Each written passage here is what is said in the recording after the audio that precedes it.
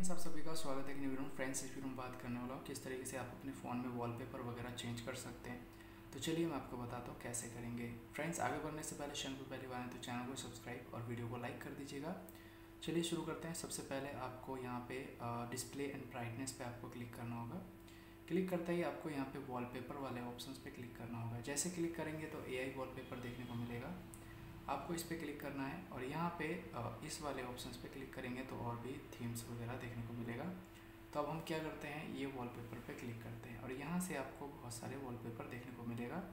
इनमें से कोई सा भी अपने पसंद का वॉलपेपर सेट कर सकते हैं या फिर लाइव पे जा के नहीं तो लाइव पे तो नहीं है।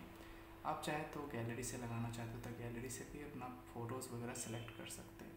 तो आप देख सकते हैं मैं गैलरी में आ चुका हूँ और यहाँ से आप कोई भी फ़ोटो वगैरह को सेट करना चाहते हैं वो इजीली सेट कर सकते हैं। तो आप देख सकते हैं, यहाँ पे आपको देखने को मिल रहा है। तो यहाँ पे मैं ये वाला फ़ोटो सेट कर लेता हूँ। ये काफ़ी कमाल का लग रहा है। आप चाहे तो कोई और भी सेट कर सकते हैं। अदरवाइज़ मैं इसको बैक करता हूँ यहाँ से एक बार और। तो यहाँ पे ये वाला फ़ोटो में भी देख करके आप काफ़ी प्यारे प्यारे थीम सेट कर सकते हैं। आप देख सकते हैं यहाँ पे इस टाइप का दिख रहा है। तो इनमें से मैं कोई सा भी एक सेट करके आपको दिखा देता हूँ। जैसे कि ये वाला मैं सेट कर लेता हूँ।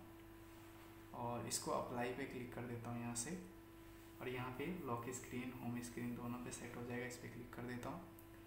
तो इसी प्रकार से आप अपने फ़ोन में इजीली जो कि वॉलपेपर चेंज कर सकते हैं। आप देख सकते हैं अभी नहीं हुआ लॉक स्क्रीन पे तो हो गया है बट हमें तो होम स्क्रीन पे भी करना है। तो हम इसको दोबारा से लेंगे अप्लाई पे क्लिक करेंगे और ये रहा होम स्क्रीन ये होम स्क्रीन पे सेट हो जाएगा। आप देख सकते हैं फुल्ली हमारा जो वॉलपेपर है, वो सेट हो चुका है। वीडियो पसंद आए तो लाइक कीजिएगा चैनल को सब्सक्राइब कीजिएगा। मिलते नेक्स्ट वीडियो में, तब तक के लिए नमस्कार। वीडियो देखने के लिए आपका धन्यवाद।